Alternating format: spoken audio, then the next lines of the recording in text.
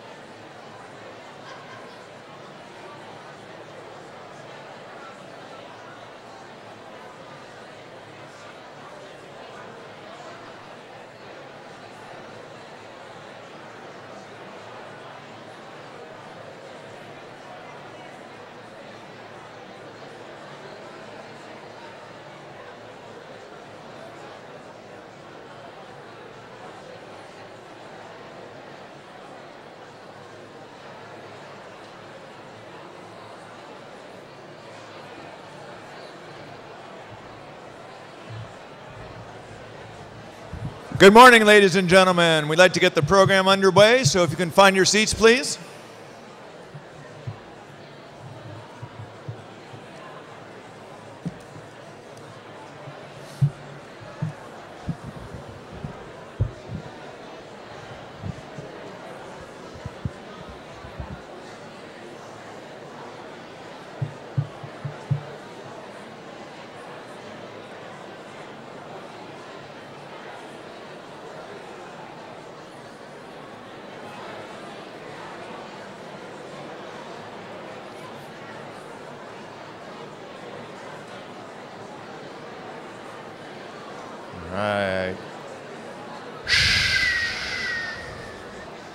Thank you.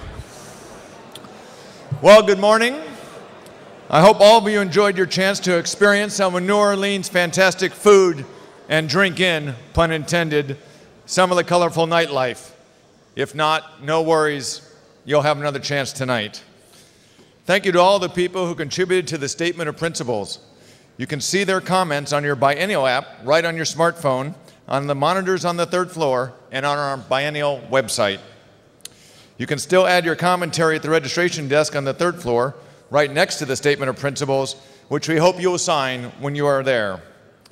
I would like to call upon one of JCC Association's board members, Merrill Ansman, to introduce this year's Esther Leah Ritz Award recipients. Merrill chaired this program, which is another important step in assuring the future of the JCC movement. The Esther Leah Ritz emerging JCC leaders are nominated by their JCCs to participate in this year-round year leadership training program. Merrill.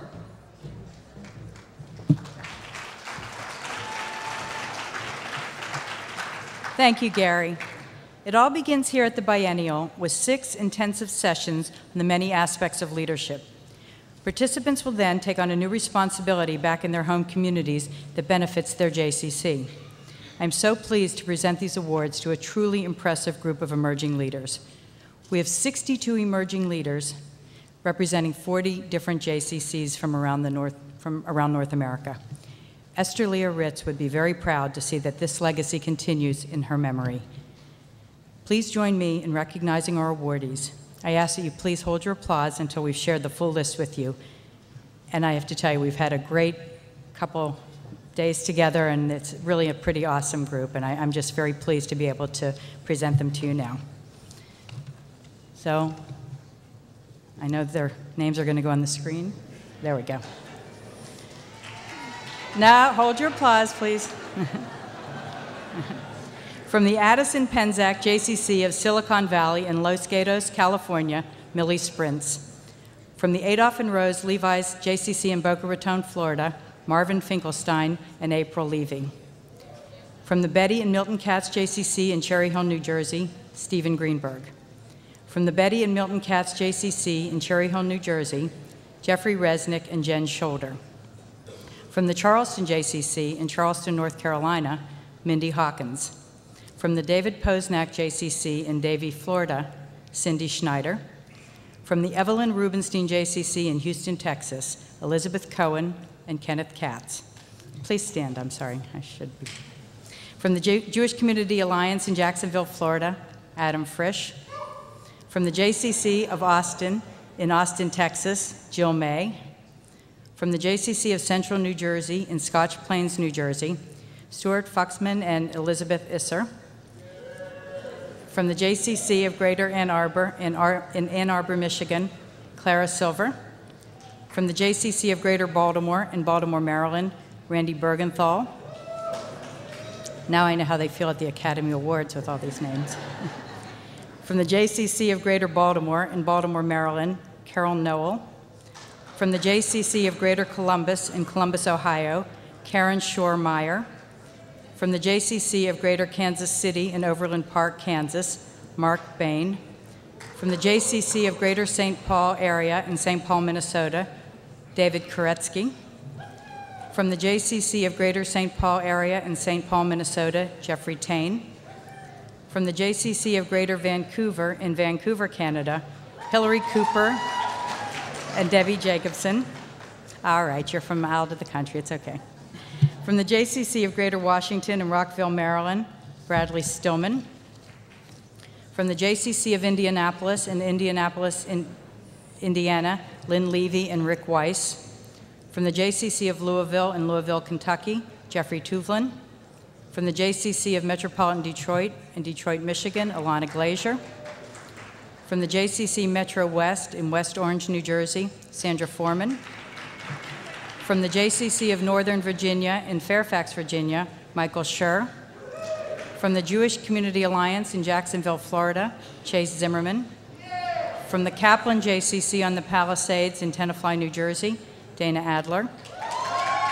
From the Kaplan JCC on the Palisades in Tenafly, New Jersey, Barry Zeller.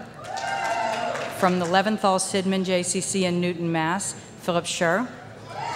From the Mandel JCC in Cleveland, Ohio, Mindy Davidson. From the Mandel JCC in West Hartford, Connecticut, Michael E. Merritt.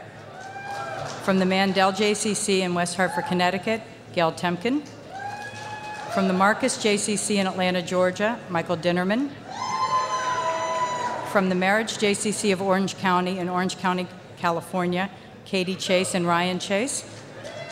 From the Merage JCC of Orange County in Orange County, California, Adrian Matros, Michael Shane, and Julie Sherman. From the Milton and Betty Katz JCC in Margate, New Jersey, Mark Newman.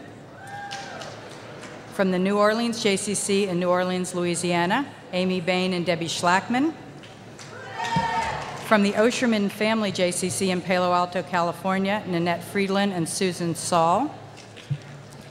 From the Rose and Max Rady JCC in Winnipeg, Canada, Danny Stoller. From the Samson Family JCC in Milwaukee, Wisconsin, Jane Chernoff and Howard Stern. From the Shaw JCC of Akron in Akron, Ohio, Alyssa Hilton. From the Shaw JCC of Akron in Akron, Ohio, Lisa Lumen. From the Shimon and Sarah Birnbaum JCC in Bridgewater, New Jersey, Jeff Feinstein and Seth Geldzaller. From the Siegel JCC, shh, from the Siegel JCC in Wilmington, Delaware, Michael Kaplan. From the Siegel JCC in Wilmington, Delaware, Brent Salomon. From the Stamford JCC in Stamford, Connecticut, Brenda Piskin. From the St. Louis JCC in St. Louis, Missouri, Monte Sadler. From the Tucson JCC in Tucson, Arizona, Rebecca Bednar. From the Tucson JCC in Tucson, Arizona, Neil Cash. And from the Weinstein JCC in Richmond, Virginia, Shelley Gordon.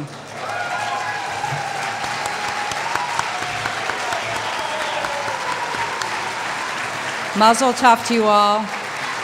Thank you.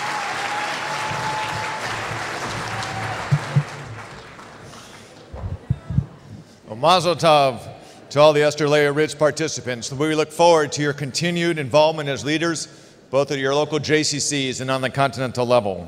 It gives me great pleasure now to call on Ron Lebo, a member of the JCC Association Board of Directors and past recipient of the Frank L. Weil Military Award, to make this year's presentation. Ron?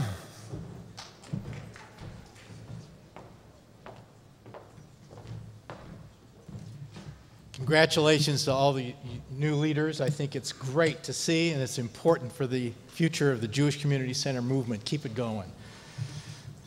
We're also able today to acknowledge another great Jewish leader, uh, Noreen Gordon Zablatsky, who is the, currently the chair of the JCC Association's Committee on Services to the Military. And we honor her today with the Frank L. Weil Award for Services to, the to Jews in the Military. So, Noreen, please join me at the podium.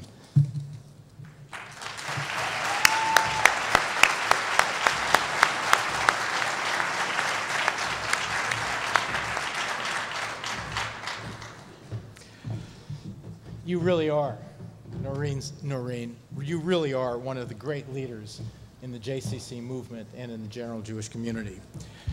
You've been president of the Dave and Mary Alper JCC in Miami.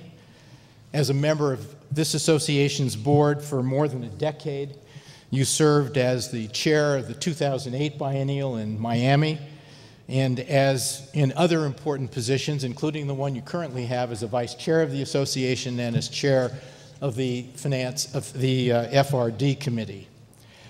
In your leadership as chair of the military side of the House, you've done some very important things and you've brought the JWB portion of our work to, to new heights. You truly have. You recently participated in two days of high level briefings at the Pentagon on matters of military policy and the support of religious communities in the, in the military. Those briefings were attended by flag officers from all branches of the United States military the Army, the Air Force, the Navy, as well as the Undersecretary of Defense and the Director of the Armed Forces Chaplaincy Board. You work closely with our JWB chaplains uh, in, in leading and providing financial support in developing, and effectuating this incredible program we call Torah for, for, Torahs for Our Troops, in which we actually uh, have scribed new Torah scrolls, and they're, they're written and for use of Jewish military personnel in the field and on our nation's uh, naval ships. To date, four scrolls have been written and presented thanks to the leadership that you've provided in that program.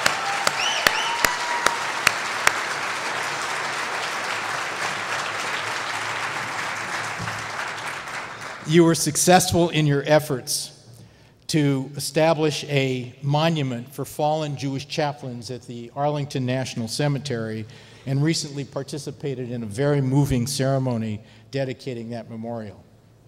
But all of this is just a small representation of the great leadership you've provided in the JCC movement and the Jewish community generally. And even that is just a small part of who you are.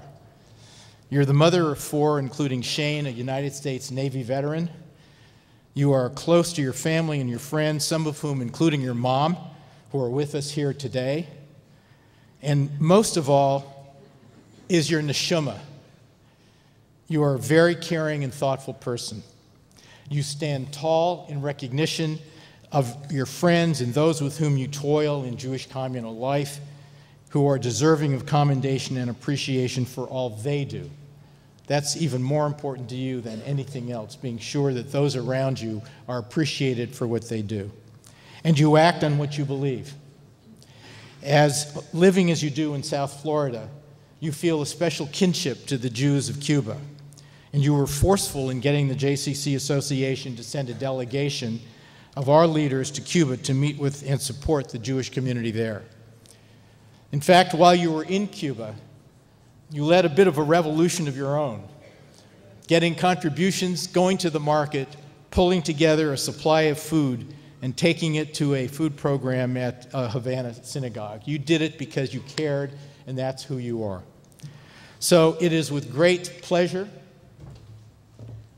and it's altogether fitting that today we honor you with the 2012 Frank L. Weil Award for distinguished contribution to the armed services field. It's presented to you today, May 7th, 2012, on behalf of the JCC Association, on behalf of the work that we do in the military, and some very grateful friends. Congratulations.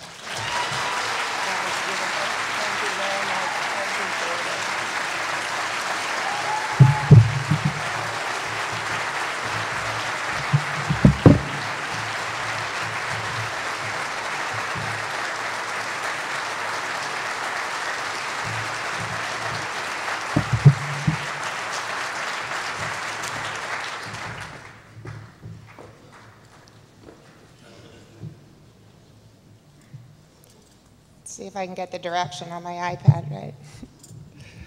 thank you, Ron. I'd also like to thank my mother, Jackie, my sister, Lori, my daughter, Rachel, and my friends, Sheila and Gail, for traveling here to be with me today, not only to support me, but also to try and understand who these people are that I work with and why this organization is so important to me and why I've chosen to dedicate so much time to a common mission with them. I'm very proud and honored to receive the Frank Weil Award for the work that my colleagues and I have contributed towards services to Jews in the military. As is usually the case, little of what lay volunteer leaders do can be accomplished without the vision and the implementation of the professional staff that we work with. And never could this case be more clearly exemplified than by the role retired Rear Admiral Harold Robinson played in my tenure as committee chair.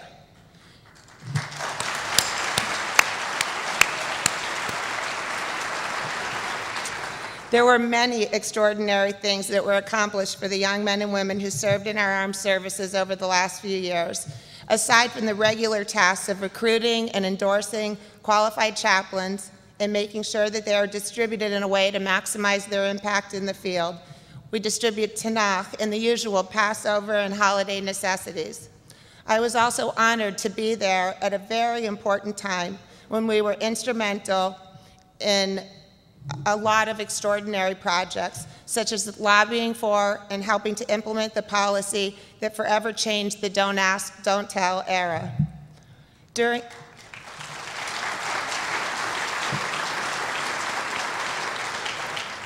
During a particular visit to the Pentagon, we were able to secure kosher food on Navy ships for the first time.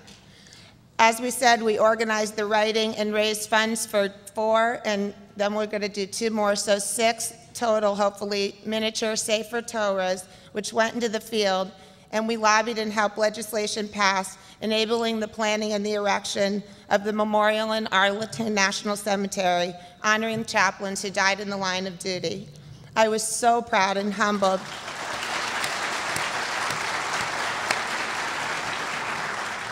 I was so proud and humbled to be there on the day of its dedication.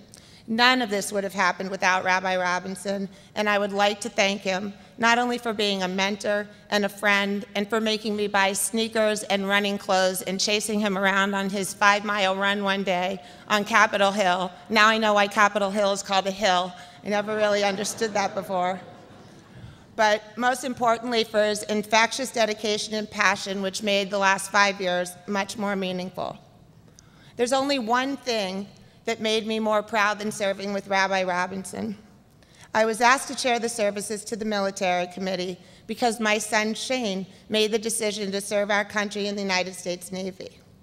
I have to admit that his father and I were a little taken aback by Shane's determination to serve in the Navy. We were the product of the Vietnam era, and the, this path that our bright Jewish chemical engineer son was choosing seemed foreign to us. We used to argue over whose fault it was. His, his, his dad used to say that it was my fault for dressing him in a sailor suit when he was six months old for his, for his portrait.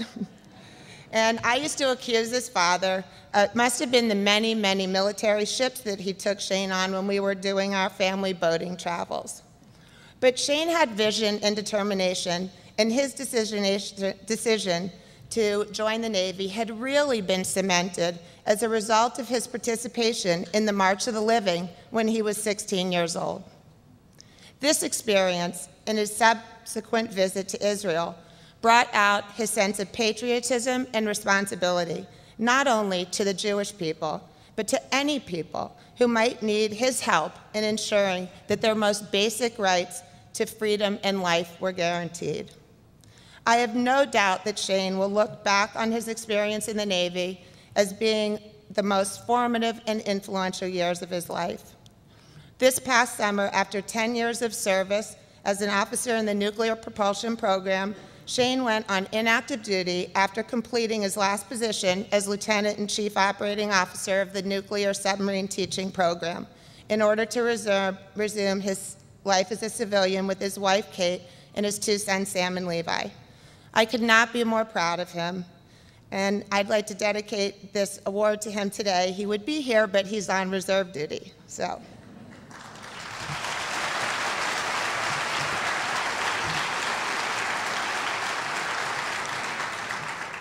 Like many people in uniform here today, Shane said, Hineni, here I am, in a very big way. And I can only hope and pray that a tiny bit of that came from the example I've tried to set for my children. I'm thankful to have been blessed with the resources and the desire to dedicate my time to a lifelong commitment to do my part to help not only the Jewish community in America, but in Israel and around the world as well. To try every day to help ensure that needs are met, education provided, and opportunities presented to people who are not in a position to secure it for themselves, and to help create a vision for our Jewish community. Last week, I participated in a mega mission to Israel with 740 people from Miami, the largest delegation that's visited Miami in the last, visited Israel in the last 10 years. It was an amazing trip and one that showcased many of the Matnasim or JCCs that our JCCA Israel office works with. One of the highlights was a collaborative dance program between the teens from the Michael Ann Russell JCC in Miami and the JCC in Yerucham, Miami's new P2K partner, and part of our WCJCC's Tri-Center project. I was so very proud of my friend Gary Bomzer, the JCC exec from Miami, whose constant attention to the relationships we form with Israel sets an example we should all strive to emulate. At the closing ceremony in Israel, Rabbi Danny Gordis called on each and every one of us to live our lives so that we can look back one day and tell our children that we did the very best that we could for our community in general and for the Jewish people in particular. To ensure that we have a strong Jewish community at home, a strong Israel with a bright and secure future. I'm grateful to the JCCA for recognizing me for the work that I've done with the military these last few years, but I'm even more grateful for them, to them for the opportunity for providing a vehicle through which I can work and fulfill my personal commitment to Tikkun Olam and to do it with such a wonderful gr group of people who share my passion for the Jewish community here in Israel and around the world. 叫大伯吧。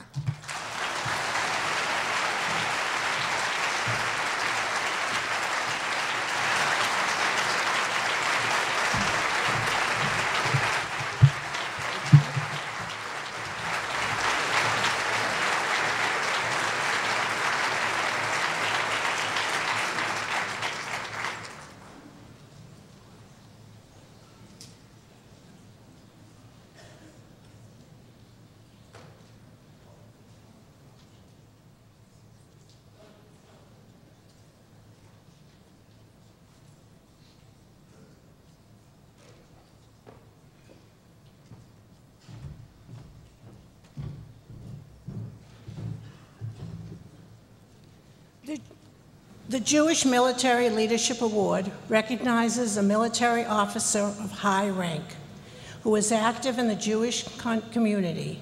This year, the award will be presented to Rear Admiral Herman A. Shelanski, Commander, Carrier Strike Group 10. Admiral Shelanski, please join me.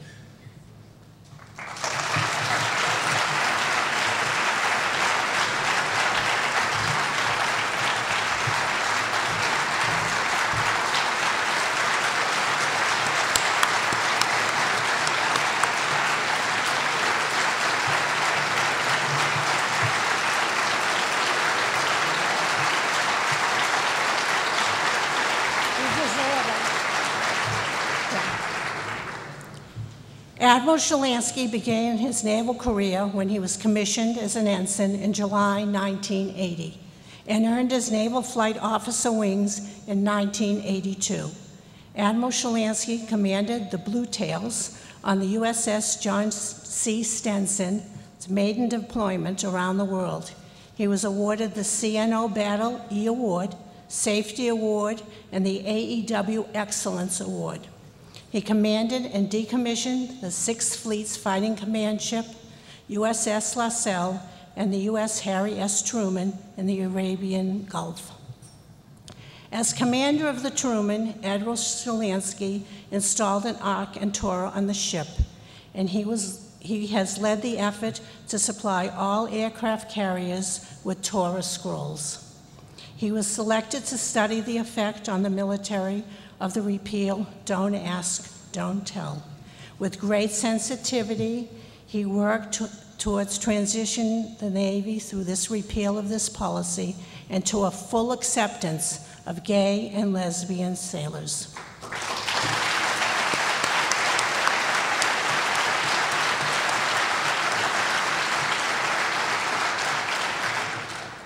Admiral Shelanski is also active in his local synagogue community.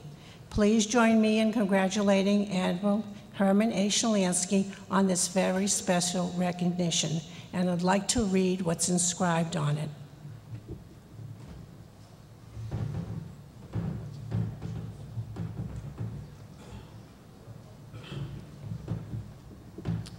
The JCC Association presents the Jewish Military Leadership Award to Rear Admiral Herman A. Shelanski, who for 32 years has answered the call to serve God, country, and our people. A true American patriot and faithful son of the Jewish people in defending our beloved country and maintaining the heritage of his ancestors. He consistently models the highest values and aspirations of the American Jewish community. Admiral Shelanski.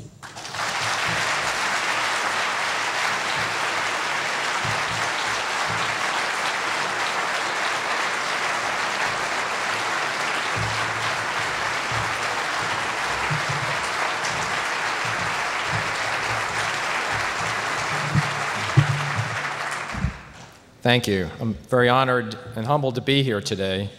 And I accept this award on behalf of all the military men and women for their patriotism, their love of country, and their willingness to serve and sacrifice for the common good.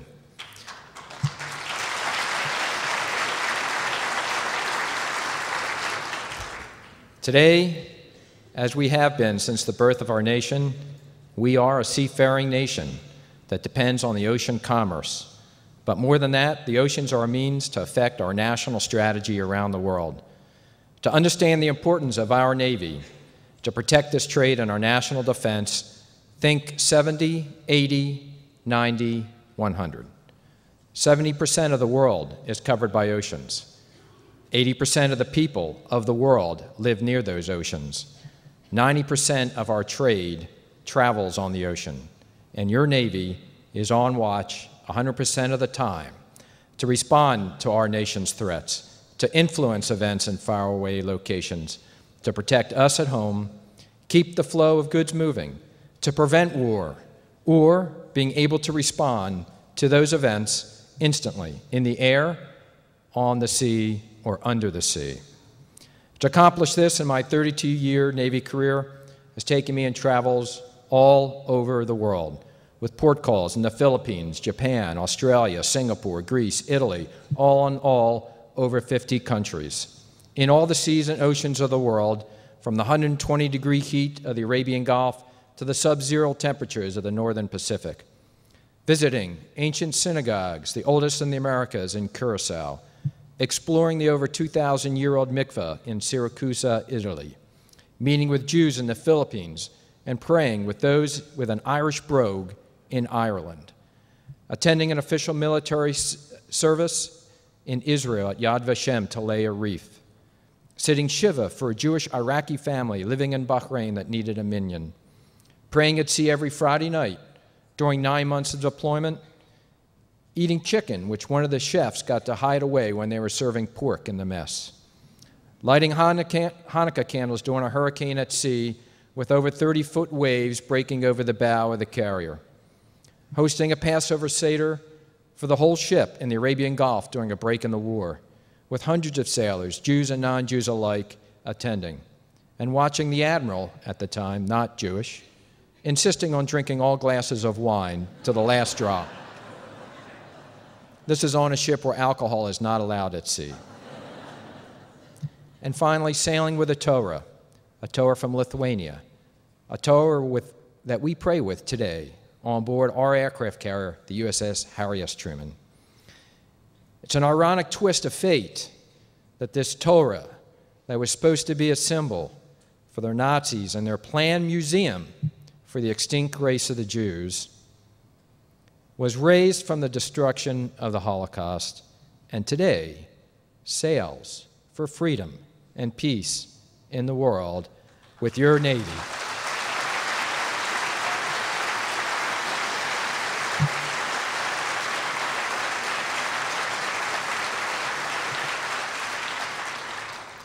Your fleets, your armies, your Air Force are manned by men and women that come from all over the 50 states and U.S. territories.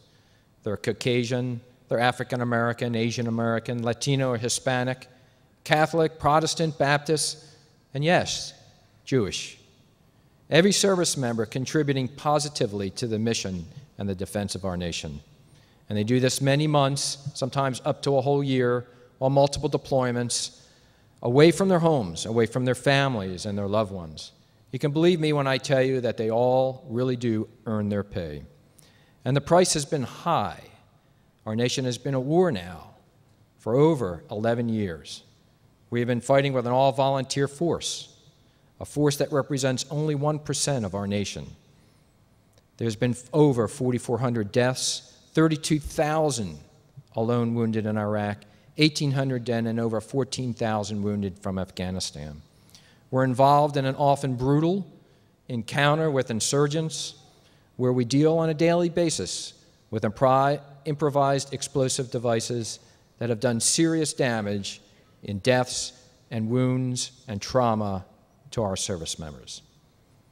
And as military service members make the ultimate sacrifice overseas, another kind of sacrifice here at home often gets overlooked that of the military families.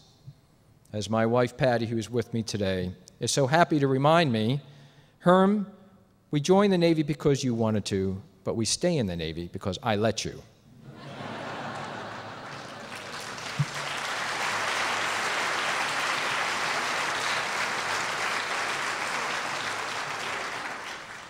and as organizations like the JCC that help support our troops and have the potential to reach out in many venues that can help the men and women that have served our nation. So thank you again for this recognition and what you have done and continue to do for our warfighters in all of our services. Thank you.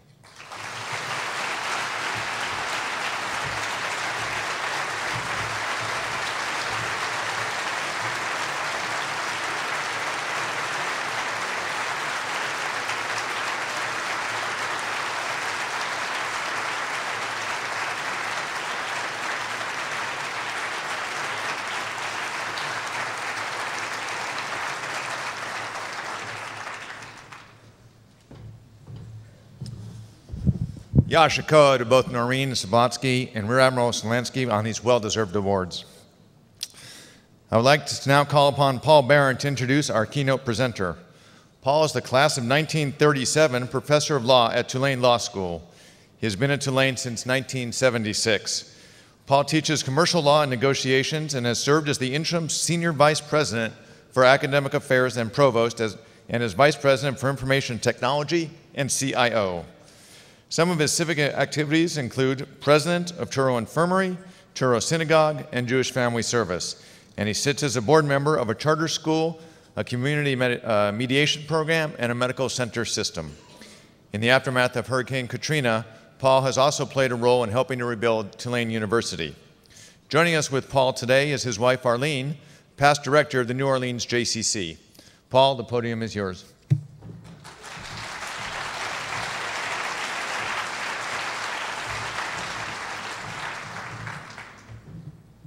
What I wrote was much shorter than what we just heard. Presumably, the point of an introduction is more than, the sim- than simply the transition between the prior event and the keynote speaker. Rather, the reason for the introduction is to tell the audience something about the person who is, getting who is giving the speech. For many speeches, this is achieved by a listing of the speaker's positions, achievements, and awards. I could spend far more than the time I have to provide that impressive list for Scott Cowan.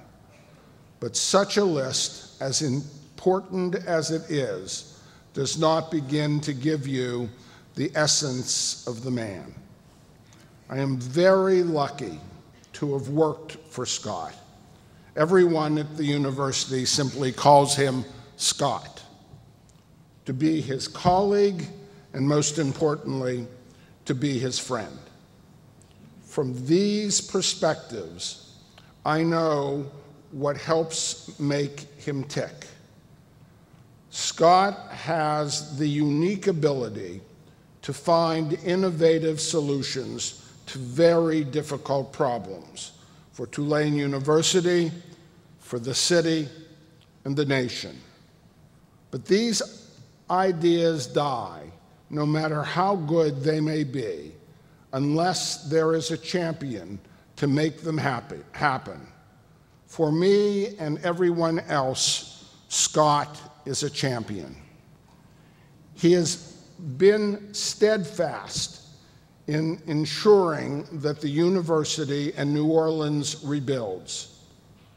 Scott recognized that there was a critical tie between Tulane University and New Orleans and now requires a service learning requirement for graduating at Tulane.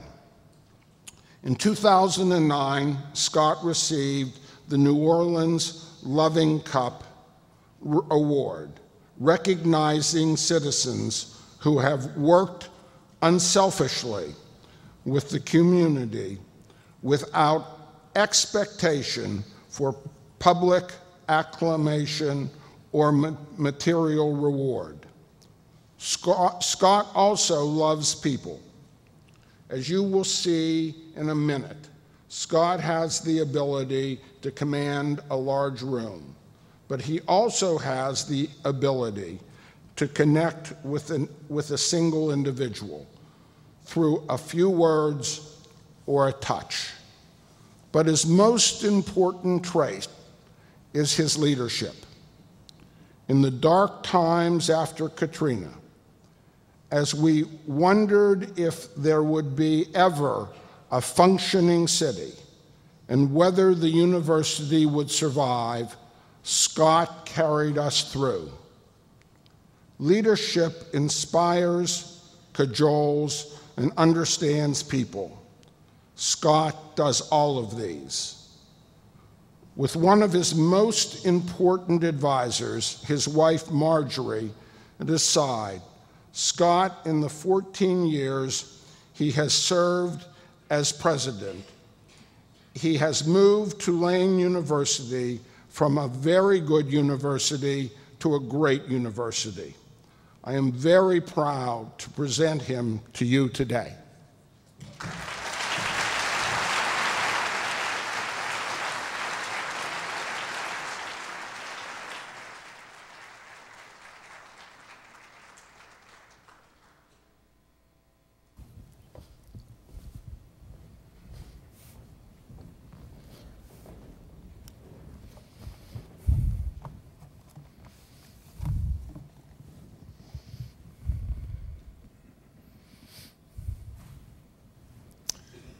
Good morning, everyone, and welcome to New Orleans. From the bottom of my heart, I want to thank you for having your meeting here in our city. And my thank you is very genuine and heartfelt because you could have had this meeting anywhere in the United States and beyond, but you chose New Orleans. As I travel the country, as I often do for our city, the one question that inevitably is asked of me after I speak is what is it we can do for New Orleans six years after Katrina? And I say, come to our city. Bear witness to what has happened here.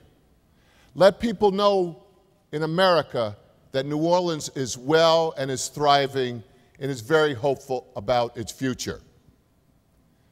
I can't tell you how many people in America still ask me today is New Orleans flooded? Will New Orleans ever recover? Does New Orleans still have the same charm and iconic feel to it as it did before Katrina? And I give my answers, but they think I am biased because I live in New Orleans. But you are now here, and you are seeing it for yourself. And I ask each of you as you go back to your cities across the country to be ambassadors for New Orleans, to tell people we are doing well. You should come here, and there's a lot to learn. You can tell, by the way, from my accent that I am not from the South. I was born and raised in New Jersey.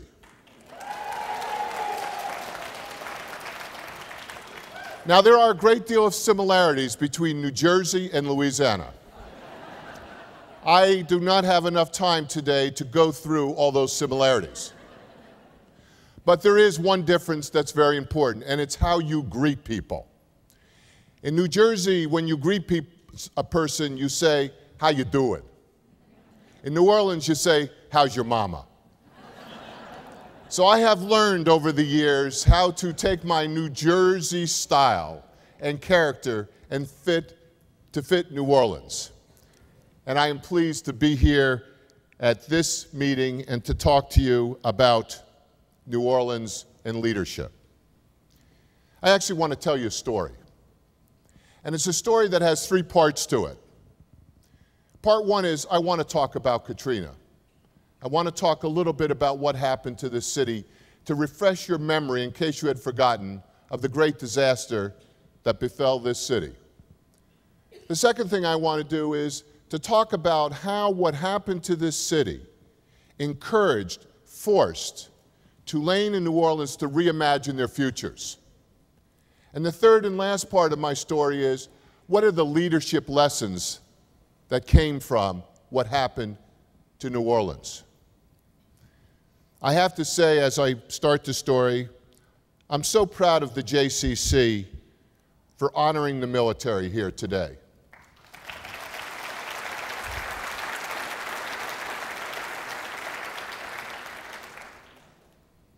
I myself served in the military as an active soldier in the U, as a U.S. Army infantryman in the early 1970s. A different time, a different war. But nonetheless, it is that service, quite honestly, that helped me get through Katrina. And without that service, I'm not sure that I would have personally been able to do some of the things that I did. But most of all, I'm so grateful to the military because of the sacrifices they make on behalf of our country and for democracy. So we all, them, all owe them all our respect and our congratulations and their thanks. So thank you to the military.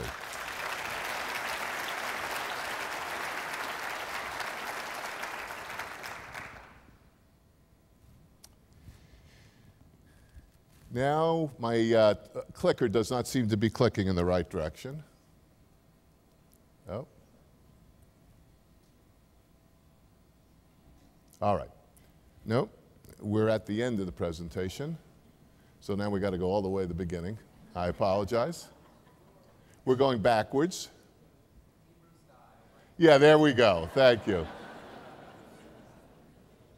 All right, could we get that one up uh, as the front one and we'll see if we can go from there?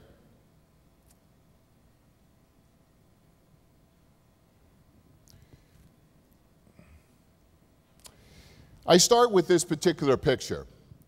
And the reason I wanted you to see it is this is what a projected Hurricane 5 looks like when it's about ready to hit your city. Now, you don't see New Orleans on this map, and matter of fact, you don't even see the state because we're behind that big white cloud. And it's interesting, by the way, the, one of the things about hurricanes, you usually know weeks in advance and days in advance is when it's going to make landfall and where it's going to make landfall. But Katrina really surprised us in New Orleans. Because four days before it made landfall, it did not look like it was coming to New Orleans. It looked like it would be east of us, and we were all saying in New Orleans, we have dodged a bullet. But mysteriously, in the 48 hours after we thought we had dodged that bullet, it moved west. And this is what we began to see just about a day and a half before it made landfall. This was an interesting time for Tulane University, by the way, because this picture was taken on the Saturday before the storm came, and it came on a Monday. And guess what we were doing that particular Saturday? We were welcoming the brand new entering class to Tulane University. And I remember the convocation as if it was yesterday, because normally I would be dressed in my robes and I would be going out and having a very formal ceremony welcoming everybody to the University of New Orleans. Instead, I gathered all the students and their families together and I was wearing Bermuda shorts and a t shirt. And I said to them, Welcome to Tulane University. We were formed in 1834. We're one of the most univer distinctive universities in America. And by the way, you have to leave for five days. And I said, a storm is coming this way, but if the past is a prelude to the future, you will only be gone five days and then you will come back. I had the five wrong. The days was, I mean, I had the five right, but the days were wrong because the days turned out to be months. When Hurricane Katrina happened on Monday, I was actually on campus and stayed during the entire storm and evacuated a week later. It was a ex horrific experience to be here during that period of time. There are no words to properly describe what it felt like. When the storm, by the way, passed through, I walked out of the building I was in, and you'd probably be surprised to know that there was no water anywhere. There was no flooding in New Orleans. And I had said, Thank goodness there is no flooding. It is over We'll clean up the debris and we'll be back within a week. But we heard on the radio that there had been a breach in a levee. And we didn't quite know what a breach meant in the levee and the consequences of it. But within 48 hours, we learned. Because the vast majority of our city was flooded, and that included Tulane University. This is the impact that Hurricane Katrina had on New Orleans. Over 1,800 people lost their lives. Most of the people lost their lives because they died in the floodwaters, died of lack of care, or died of asphyxiation. 400,000 jobs were lost. 275,000 homes were destroyed. And by the way, that is 10 times the number that had ever been destroyed in any other disaster in the United States. The total cost, I have 110 billion. The final bill was 200 billion dollars. the costliest storm or tragedy in the history of the United States. I want to show you a map. This is a map of Orleans Parish. And what I want you to notice is what is in red. Red is the flooded part of Orleans Parish. And if you calculated the percentage of the parish that was flooded, it was 80% of the parish flooded for an average of 57 days. By the way, 80% of the landmass of Orleans Parish is the equivalent of seven times the size of Manhattan. So if you wonder what a disaster it was, this begins to give you some perspective. Obviously, the storm had an impact on Tulane, and here are the statistics on Tulane. It flooded 70% of our main campus and our entire Health Sciences Center campus, including our hospital. It resulted in 13,000 students and 8,000 employees dispersed for five months. And we became the first major university in the country since the Civil War to have to close for a semester. And our losses alone were over $650 million.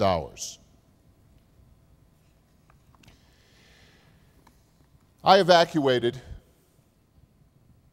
six days after the storm. My evacuation involved taking a motorboat, hot wiring a golf cart, stealing a dump truck, and then hailing down a helicopter. I remember, by the way, a week later, I was on the Today Show. And I believe it was Matt Lauer said to me, I am confused. How is it that a university president has the skills to hotwire a golf cart, steal a dump truck, and hail down a helicopter? And I said, Matt, first of all, I was not born a university president. But as I said before, I was born and raised in New Jersey.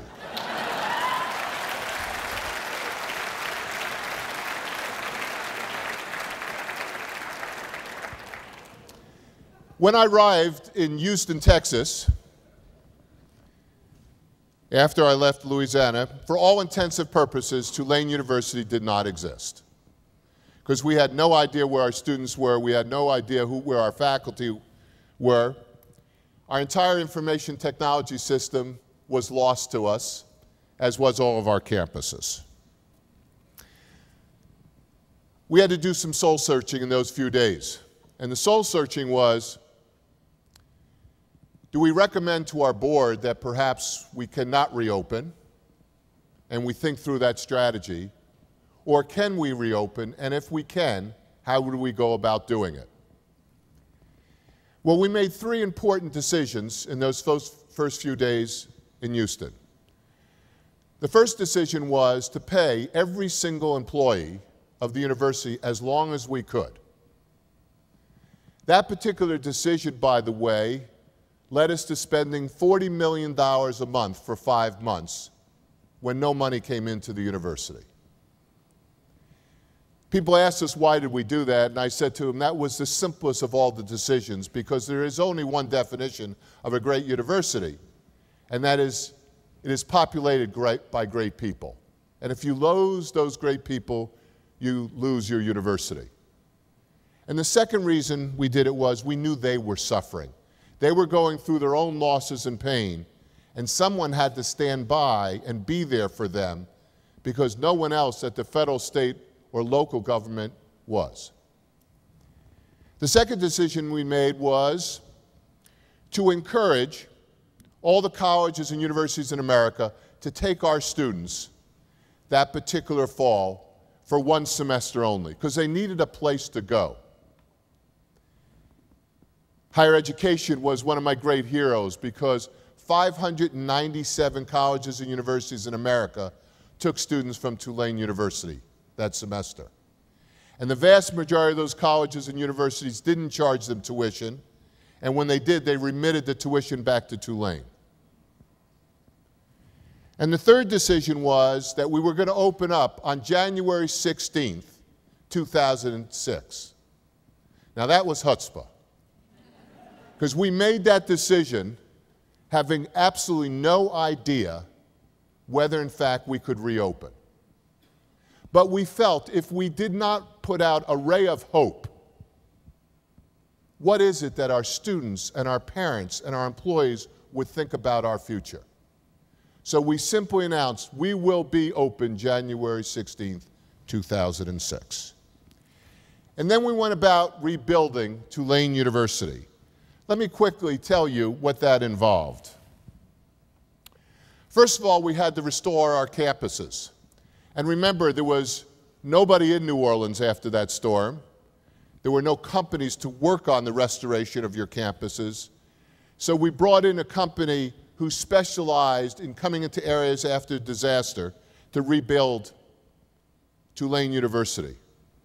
They actually lived in tents on our campus. They put in their own generators because there was no power. And we said, you do what you have to do as quickly as you could to physically rebuild Tulane University.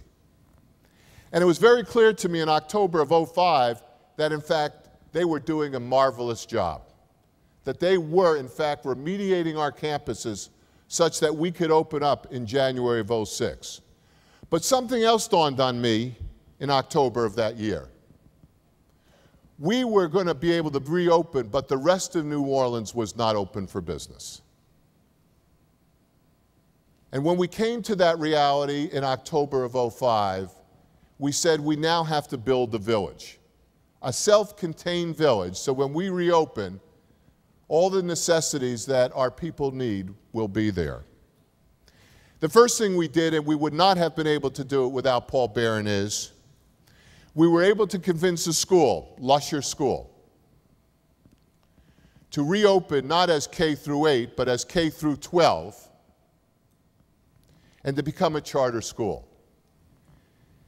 I remember very fondly Paul saying to me, I can get the principal to come to Houston, Texas, Kathy Riedlinger.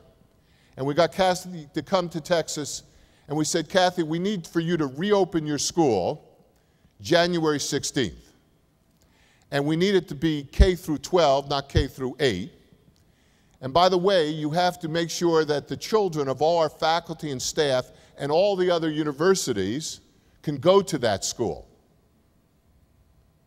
She looked at us and she said, Are you kidding me? The school is flooded. We have no books the school district is closed down, we have no teachers. And our response to her was, these are merely details. that school opened January 16, 2006. And it took the children of all the universities here so the universities could reopen and a number of children from the neighborhoods. Kathy Riedlinger, Paul Barron, superb examples of leadership and heroes in our community. Well, the next thing we found out after we got our school up and ready is there was no place for anybody to live. Because we did an online survey and people writing into us and saying, by the way, we'd love to come back, but there's no place. We don't know that our apartment, or our home. And I remember one night we were brainstorming about how it is that we could house maybe thousands of people. So we decided to buy an apartment building that was still functioning. We built modular housing. And after we did all that, we had maybe 400 apartment like opportunities. And one night, one of our physicians got a brilliant idea. He said, You know, a few months ago I went on a cruise. Why don't we get a cruise ship? So we got a cruise ship. And you know where we got it from? From Israel.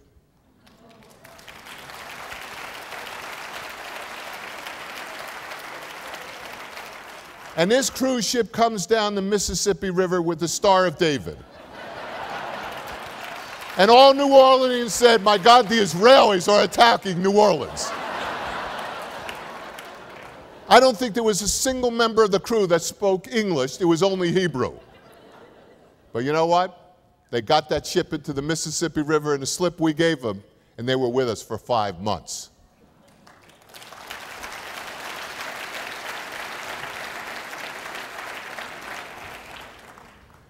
The next thing we began to do is we began to check in with our other universities, Dillard and Xavier and Loyola, to see how they were faring. We were particularly concerned about Dillard because they were in a part of the city that was totally flooded. And they're what we call an historically black college and university. And we had read in the newspaper that they were going to move to Atlanta, Georgia.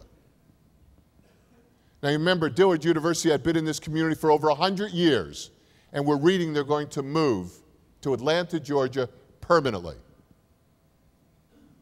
The other thing that caught us as very sad was since it was an African American institution, at the very time that African Americans were being ravished here in New Orleans, we were going to have one of our most prominent institutions move. I reached out to the president of Dillard, who had only been in her job six weeks. But here is the great irony. Marvalene, before coming to Dillard, was president of one of the state institutions in California. And when she came to New Orleans, someone asked her, Why did you leave California to come here? And she said, I was sick of earthquakes. True story. So, welcome to the South and hurricanes. we were able, Tulane was able to form a bond with them. And we said to Tulane, uh, to Dillard University, if you stay here, we will provide you space. Your students can take our courses at the university just as others around the country were helping us earlier that fall. And I'm proud to say that Dillard University is not only here, they're thriving.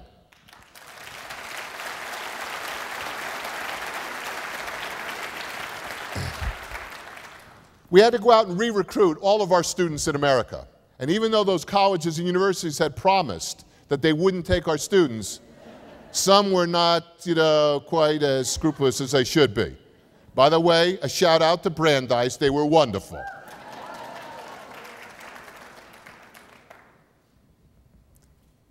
So we went all over America and we re recruited them. And you know what? We, we found out it wasn't our students that were the problem, it was their parents. So we mounted a hall program. And it was interesting because everybody in America predicted we'd be lucky if we could get 50% of our undergraduates back. But when we opened on January 16, 2006, 87% of them came back.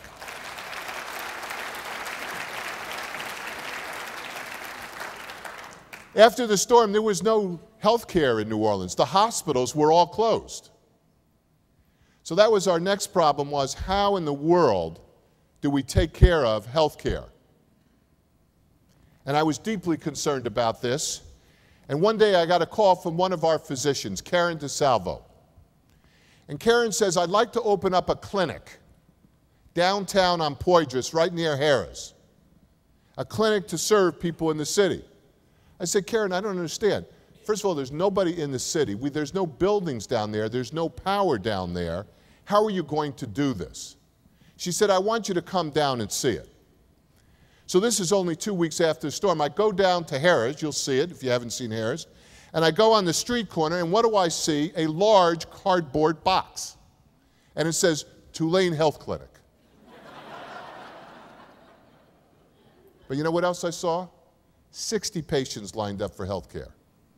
And doctors and residents and nurses delivering health care right then. And from that moment, from that one clinic, Karen DeSalvo became the spokesperson, the catalyst to building an entire network of community health clinics in New Orleans, long before the hospitals got rebuilt. Do you know how many such clinics exist today? 93.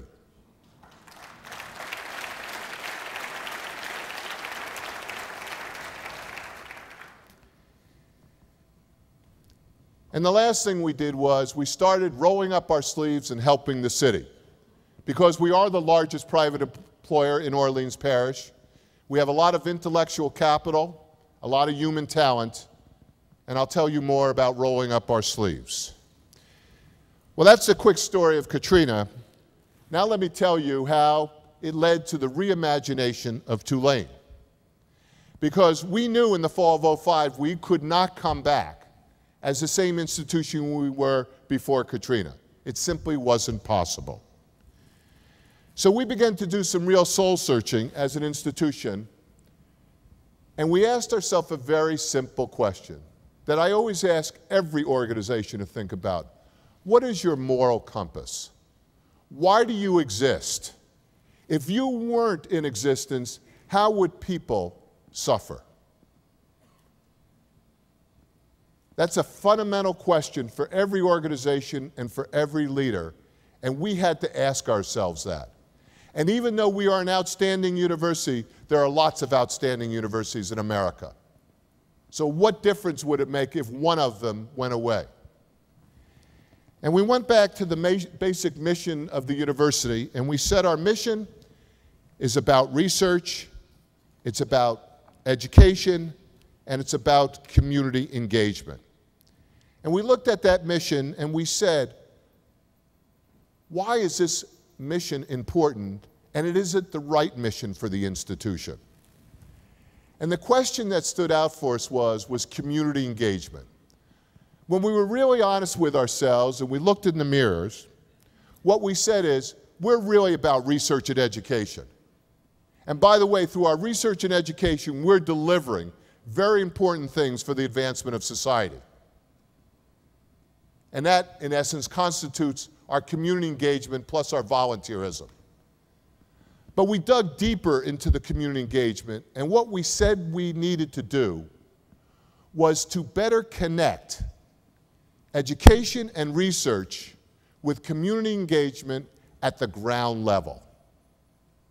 Starting with New Orleans and using our experience from New Orleans to improve New Orleans, but then spread out from New Orleans to all over the world wherever there is a disaster. That was an epiphany for us. Perhaps we should have thought about that before Katrina, but we didn't. It was an epiphany. And what has happened over the last six years is we have developed a vision, and I want to just read this vision to you, if I can. And we call, by the way, our initiative Tulane Empowers. Tulane will be the leading research university to mobilize its expertise to build stronger and healthier communities and to develop the next generation of engaged citizens and leaders. There's a few words I want you to focus in this vision. We desire to be the leading institution, not a institution or an an institution. And we're going to be very community focused and help communities, as I said, locally and around the globe. But what it's all about is developing the next generation of engaged citizens and leaders. Because if there's something that our country needs and the world needs, is more engaged citizens and more leaders. And we're going to create more opportunities for them, in addition to getting the classical education in the classroom, to develop the softer skills, which we call emotional intelligence, and getting things done at the ground level. Let me tell you the six areas we're focusing on. And I won't go through each of these, but I want to take out a couple. The first one is service. You see it at the bottom there. After Katrina, Tulane University became the first and only major research university in the country that integrates public service into the core curriculum all four years students are here. All four years.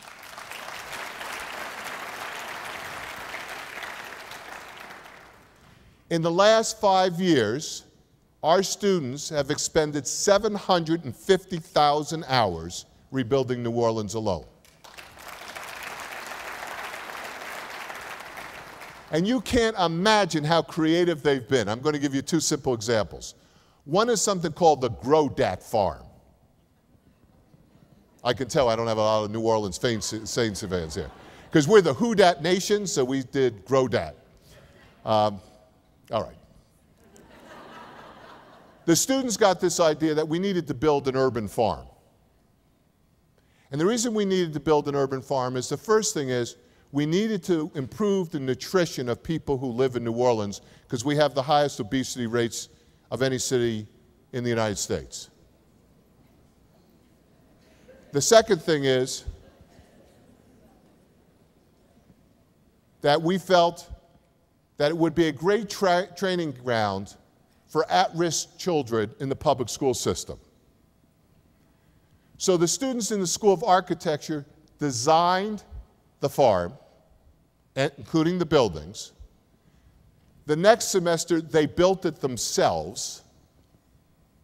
And then the students gathered and developed the programs to bring at risk children into work the farms and to teach them life skills.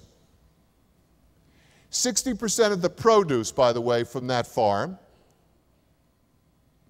is sold to local restaurants in the area, and the other 40% is donated to all the poverty centers in New Orleans.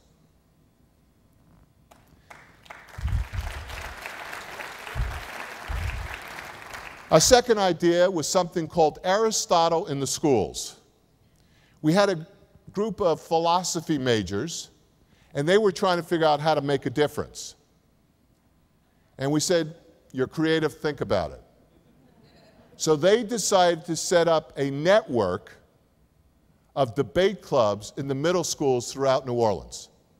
And in three years, they have set up a very robust set of clubs that are now competing on a regional and national ba basis in debate. Phenomenal success. The other one I want to mention is youth development, especially K through 12. We put a lot of time and energy in K through 12 education because we think the future of our city and our country is predicated on K through 12. If we don't get that right, nothing else is going to matter in the United States. Because all the problems we have, whether it's crime, blighted neighborhoods, uh, obesity, poor health outcomes, are all related to a population that is not well educated. We started it by, right after the storm, I headed up the community wide effort to develop a new vision and plan for public education in New Orleans. There were hundreds of people involved in that process. And that plan is now being implemented, and it's predicated on decentralizing public education down the, to the school level through charter schools. Today, by the way, 80% of the children in New Orleans go to a charter school. That's the highest percentage in the United States. But what you also should know, which is much more important, before the storm, 67% of our schools were failing, Today it's 16%.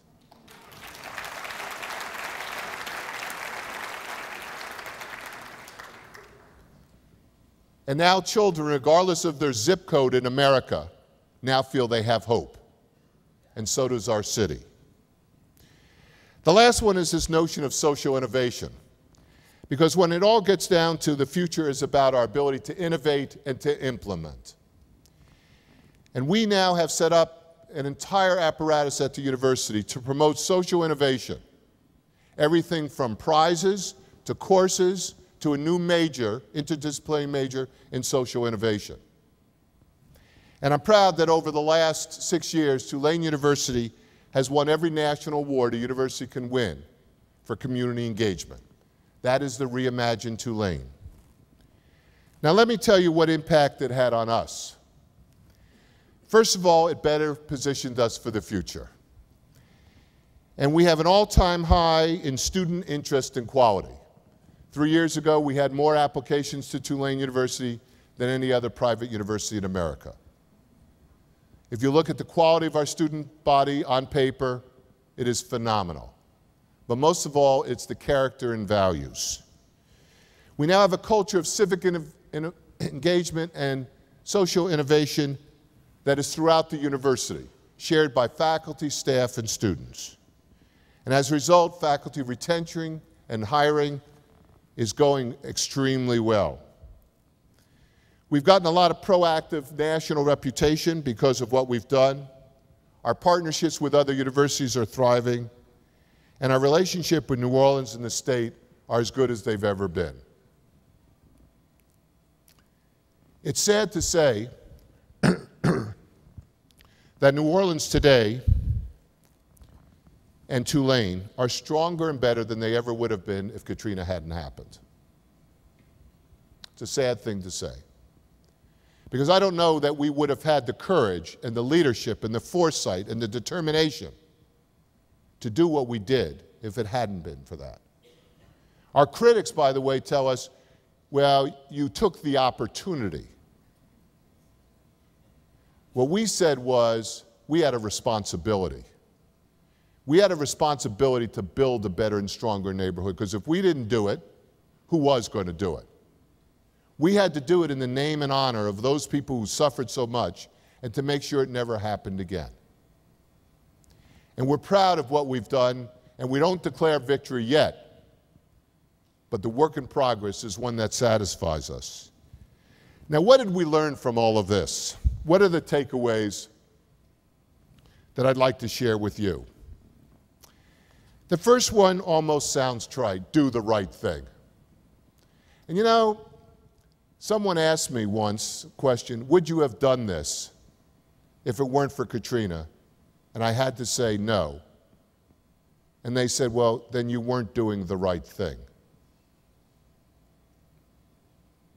And I had to say, You're right. And as I've talked to some of the most superb leaders that I have found in the country, one of them sitting in the front row, Mort Mandel.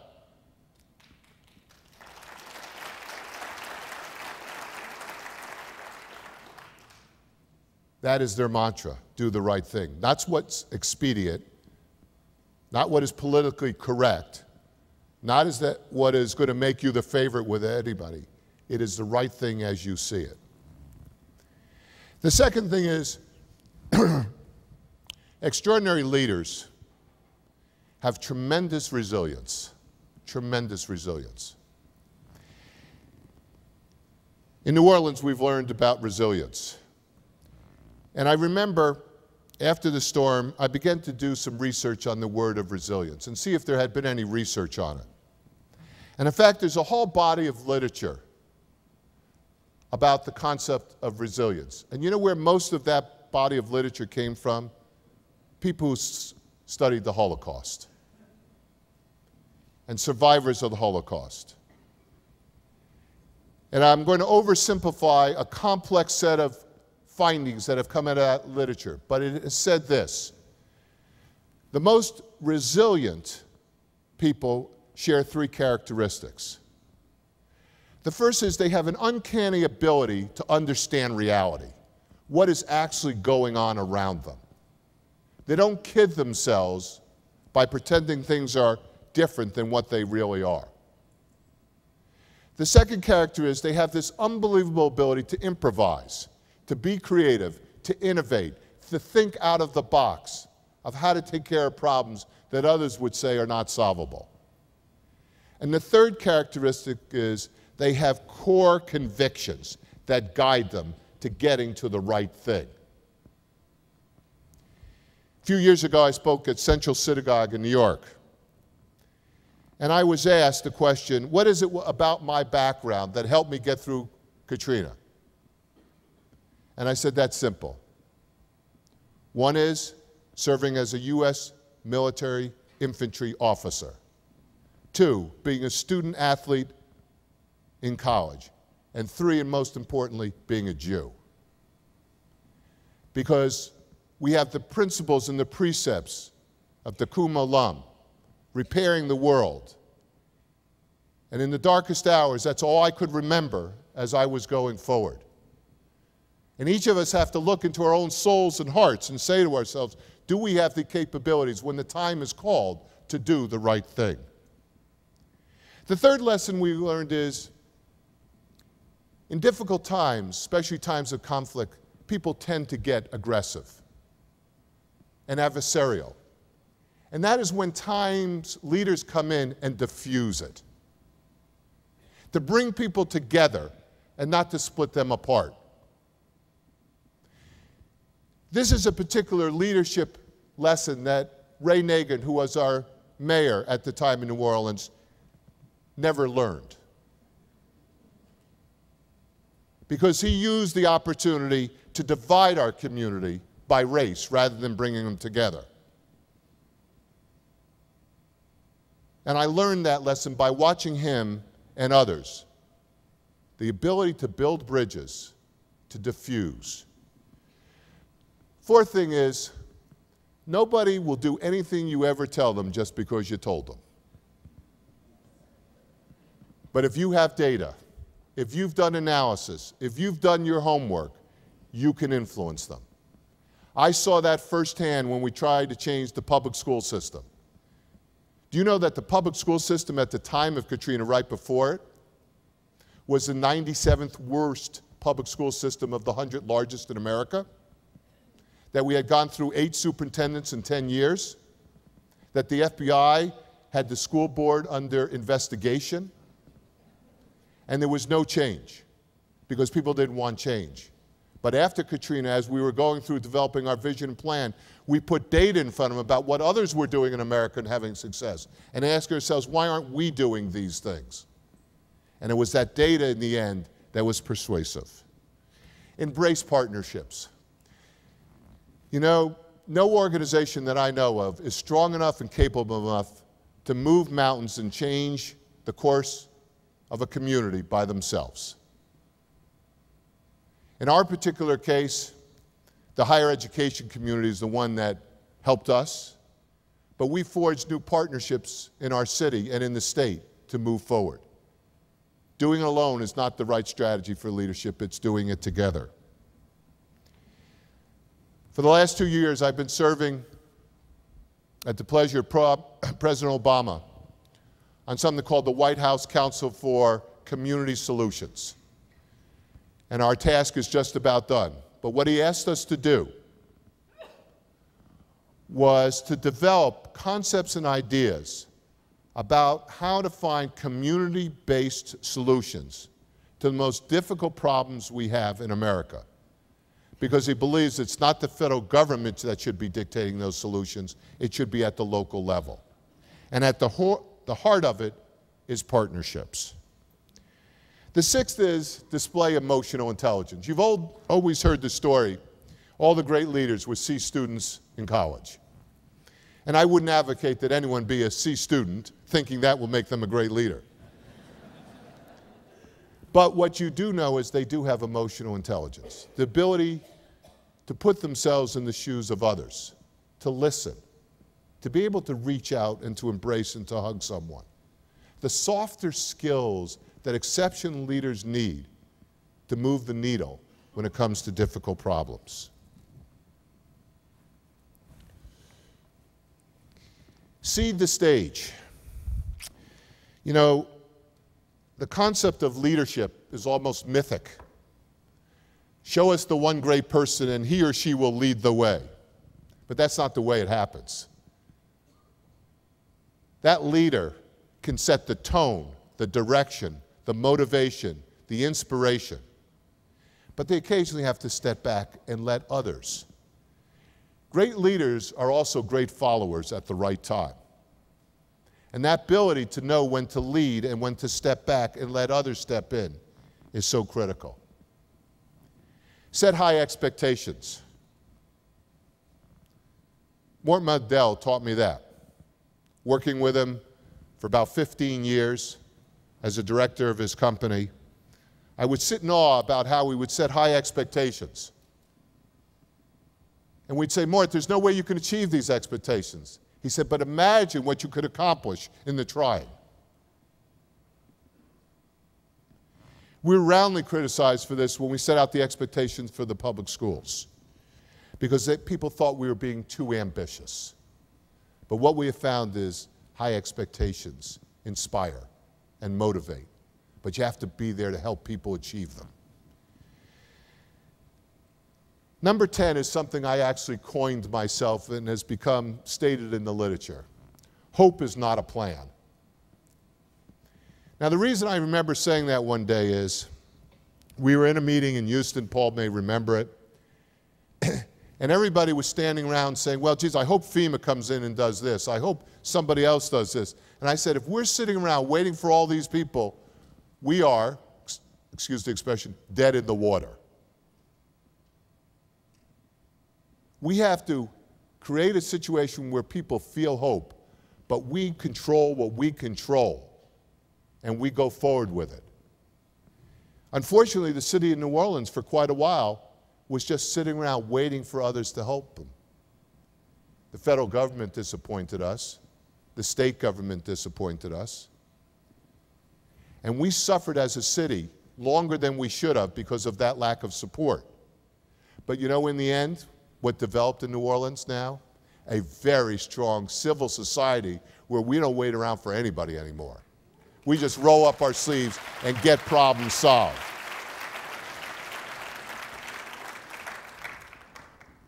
The lesson of focus and discipline. One of the characteristics that I've seen in many leaders is their ability to zero in on what is the goal and almost take everything else out of sight and not get distracted with things that are not important. And that's hard because all of us have so many constituencies out there that want something from us. And many of those expectations of the different constituencies are actually in conflict with one another. So the ability to sort out what really should be the goal versus other things that can be secondary is important. And then the last one is have the determination to succeed. In the end, and you all know this, leadership is about getting results. It's not about the effort, it's about the results. The road is littered with people who had good effort but didn't get the results. Each and every one of you in this audience is a leader, either because you lead an organization at JCC or you're exemplifying leadership as an individual. Because everybody can exemplify leadership by what they do, what they, how they act, and what they support. And this determination to succeed and to never give up is at the heart and the core of leadership. I use my Katrina story because I would not put myself out as a great leader. I would put myself as one who has observed and worked with great leaders. And through the process of osmosis, hoping I'm getting better over time. And to the extent that I can share my experiences with others. But what I know is this whether it's the JCC world, whether it's the political arena, or whether it's the corporate world, there is a shortage of great leadership. And if you don't do it, who's going to do it? If each one of us doesn't do it, nobody will do it. And if each of us makes that dedication to uncompromised principled leadership, imagine what we can achieve together, locally, for our country, and around the world. Thank you very much.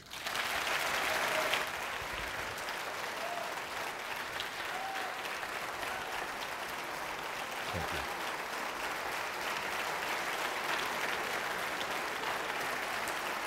Thank you.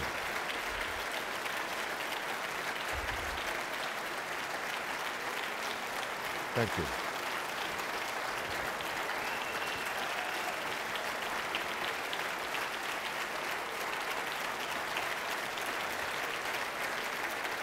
Thank you. Thank you. Thank you.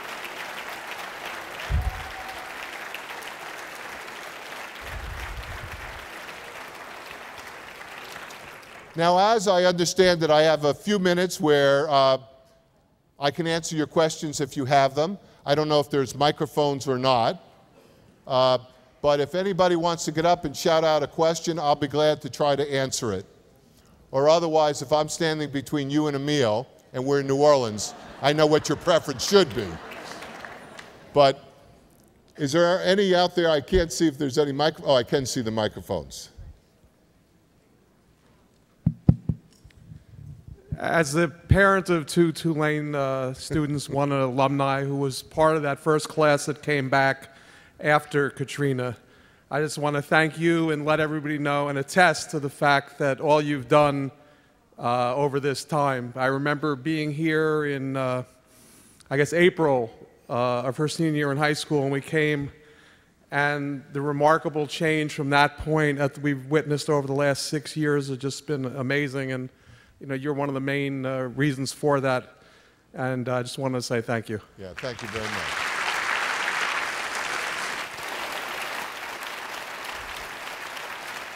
Thank you. Yes. Yes, sir. Thank you so much for a very inspiring presentation. I'm wondering if you've given any consideration to running for elected office.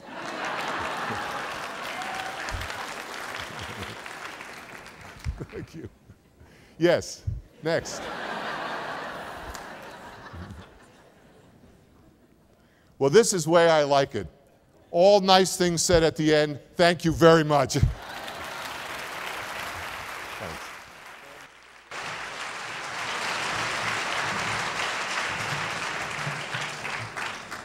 Dr. Cowan, thank you for your presentation. We salute your extra, extraordinary leadership at Tulane and for your contributions to the rebirth of New Orleans communities. You're an inspiration for all of us how we can work better as leaders within our own communities. Well, before we move on to announcements, it's time to see the results of yesterday's biennial question. If you remember, we asked you about the changing nature of JCC membership and the Jewish community and whether JCCs should allow anyone to serve on their board to be officers, restrict lay leadership to the Jewish members only, restrict positions on board to people who have traveled to Israel, or restrict officers to people who contribute to the local federation. We had close to 200 respondents weigh in yesterday, and the results are in. The majority of you, 57% of biennial delegates, want to expand opportunities for leadership roles outside the traditional Jewish community to people of diverse backgrounds and faiths. This really represents a large shift in thought and is worthy of further discussion. Thank you for weighing in on those.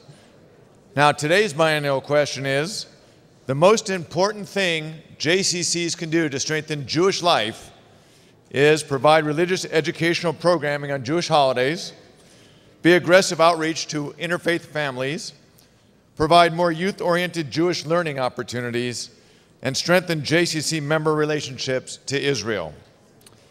Now, remember, please, to go to your biennial app, guidebook, and choose Monday's biennial question to voice your opinion. Shh. Or you can stop by the registration desk to cast your vote. We'll have the results for you tomorrow. And now for a few announcements. You may all wondering what those beads were that were placed on your chair earlier. As you've heard, the JWB owns 60 Torahs, which are on loan at major military installations around the world. But chaplains in the field and aboard ships need more portable Torah scrolls that they can carry as they move around the combat theater. So JWB commissioned the writing of small, lightweight, and fully kosher Torah scrolls. Writing even a single letter in those scrolls fulfills an important mitzvah of helping to write a Torah. The scribe will be here through Tuesday morning, and we hope that many of you take this opportunity to inscribe or dedicate a letter, a word, or even a portion or a full book in support of this project. The scribe will be located in the vendor area, of Versailles Ballroom, booth 603. This evening, we will be having our biennial bonanza from 5 to 6.30. Each vendor is raffling a gift, and the prizes range from gift cards or gift baskets to iPod shuffles or a Kindle Fire. All you have to do to get a raffle ticket is meet up at, with each vendor, write your name on a ticket, drop it in their bag, and show up this afternoon ready to party. You must be present to win. There will also be a meet and greet and photo op with special guests Olympic gold medalist Lenny Krayzelburg and Subway spokesman Jared Fogle. I don't think he's giving out sandwiches, though. Israeli NBA player Omri Casspi was unable to join us as he returned to Israel to have surgery on his hand. Join us for hors and soft drinks. A cash bar will be available. And don't forget to visit both of the vendor rooms. Dinner will be on your own this evening. Tomorrow we begin our plenary sessions at 8:30 a.m. with Jared Fogle of Subway fame and Rabbi Donniel Hartman. Then that afternoon we'll have a buffet lunch and learning sessions immediately following. And there's table seating inside the vendor area. Now those of you who have pre-registered for the service project, those of you in the blue shirts, will be leaving from the second side door in the lobby, and we'll have box lunches for you on the bus. Please head over there now, and everyone have a great day, and we'll see you at the Bonanza.